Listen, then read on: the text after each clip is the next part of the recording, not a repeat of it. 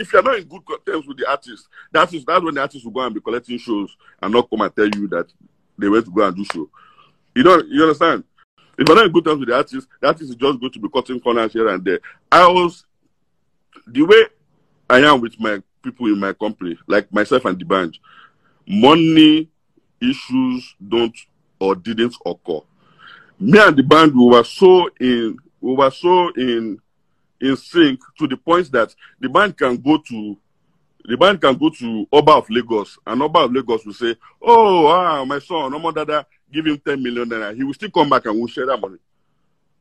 You don't understand? Mm. It's not it doesn't Yeah. have anything to, it doesn't have anything to do with performance. So it, you don't understand? It doesn't have anything to do with Yeah. performance, it's not streaming, it's not this thing.